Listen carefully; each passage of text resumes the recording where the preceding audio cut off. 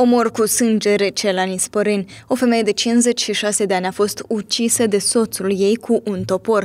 Tragedia a avut loc în seara de 7 decembrie într-o gospodărie din satul Chilișoaia. La poliție a apelat chiar suspectul, un bărbat de 58 de ani. Acesta a declarat că și-a lovit soția cu un topor în cap, iar ea nu mai dă niciun semn de viață. Pentru documentare la fața locului a intervenit poliția și medicul legist.